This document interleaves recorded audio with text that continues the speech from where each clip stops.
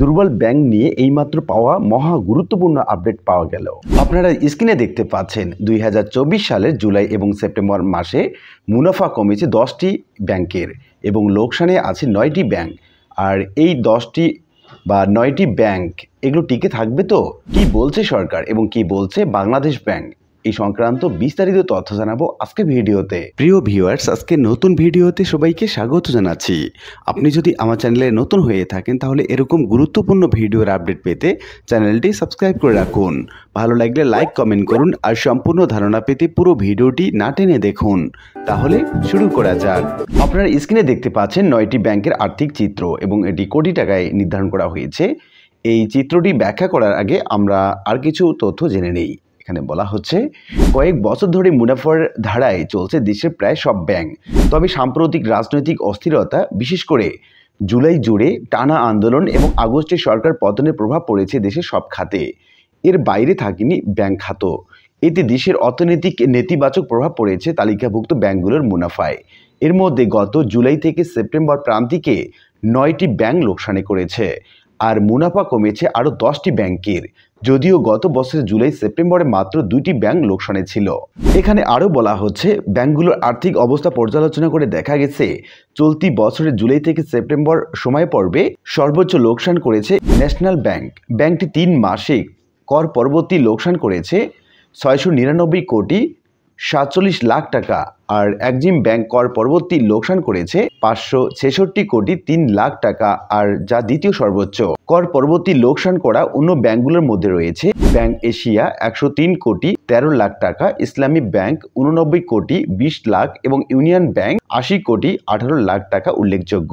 এই সময়ে আগের বছরে একই সময়ের তুলনায় মুনাফা কমেছে আরও দশটি ব্যাংকের। এর মধ্যে রয়েছে AB bank, Midland bank, Rupali bank IFIC bank NRB bank, Dhaka bank, Dutch Bangla bank, South East bank, Premier bank এবং ইস্টার্ন ব্যাংক। ব্যাংকগুলোর অনিরীক্ষিত আর্থিক প্রতিবেদন অনুসারে ন্যাশনাল ব্যাংক দুই হাজার চব্বিশ সালের তৃতীয় প্রান্তিকে জুলাই থেকে সেপ্টেম্বর কর পরবর্তী ব্যাংকটির লোকসান হয়েছে ছয়শো নিরানব্বই কোটি সাতচল্লিশ লাখ টাকা, যা আগের বছরে একই সময়ে লোকসান ছিল চারশো সাতানব্বই কোটি পঞ্চাশ লাখ টাকা। অর্থাৎ লোকসানের ব্যবধানে বেড়েছে দুইশো এক কোটি ছিয়ানব্বই লাখ বা চল্লিশ শতাংশ।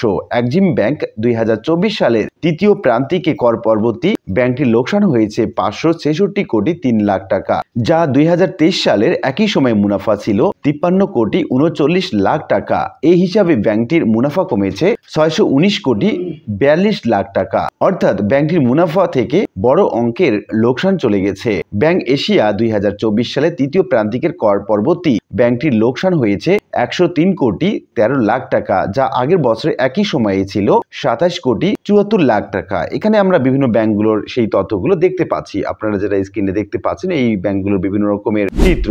ব্যাংকগুলোর নাম দেয়া আছে বাম দিকে তারপর আমরা দেখতে পাচ্ছি জুলাই থেকে সেপ্টেম্বর দুই হাজার তেইশের একটা রিপোর্ট এবং জুলাই থেকে সেপ্টেম্বর দুই হাজার মধ্যে যে চিত্র এবং এখানে পরিবর্তন দেখা দিয়েছে, বেশিরভাগ ব্যাংকগুলোর চিত্র মাইনাসে চলে গেছে। আপনারা স্ক্রিনে খুব সুন্দর করে দেখতে পাচ্ছেন। তো উল্লিখিত আলোচনা থেকে আমরা এটুকু বলতে পারি যে, বিভিন্ন ব্যাংকগুলোর এই লোকসানের অবস্থার বিবেচনা করে বিভিন্ন গ্রাহকরা বিভিন্ন রকম ভাবে চিন্তিত আছেন যে তাদের যে জামানত বা আমানত যে টাকা তারা রেখেছেন, সেই টাকা তারা ফেরত পাবে কিনা এবং এই ব্যাংকগুলো আদৌ টিকে থাকবে কিনা। তো এদিকে বাংলাদেশ ব্যাংক বা বাংলাদেশ ব্যাংকের গভর্নর সবগুলো ব্যাংকে ঘুরে দাঁড়ানোর জন্য প্রায় একশো কোটি টাকা ঋণ নেয়ার পরামর্শ দিয়েছে বিভিন্ন ব্যাংক থেকে এবং অলরেডি আপনারা দেখতে পাচ্ছেন তিনশো থেকে চারশো কোটি টাকা তারা ঋণ পেয়েছে এবং বিভিন্ন ব্যাংকগুলো ঘুরে দাঁড়ানোর মতো সক্ষমতা তারা তৈরি হয়েছে। এবং আপনারা যদি বিভিন্ন রিপোর্টগুলো দেখেন, তাহলে দেখতে পারবেন যে ইসলামী ব্যাংক সহ বিভিন্ন ব্যাংকগুলো একটা সময় প্রায় দেউলিয়া হওয়ার পথে ছিল এবং অন্য ব্যাংকগুলো যেগুলো আছে, যেগুলো সবল ব্যাংক হিসেবে আমরা আখ্যায়িত করছি, সেই সবল ব্যাংকগুলোর কাছ থেকে সহায়তা নিয়ে তারা ঘুরে দাঁড়িয়েছে। আশা করি বিষয়টি বুঝতে পেরেছেন। আর আজকের ভিডিওটি এ পর্যন্তই। আশা করি ভিডিওটি আপনাদের ভালো লেগেছে। ভিডিওটি ভালো লাগলে লাইক, কমেন্ট করতে ভুলবেন না। দেখা হবে অন্য কোনো ভিডিওতে। সে পর্যন্ত সবাই ভালো থাকবেন। ধন্যবাদ।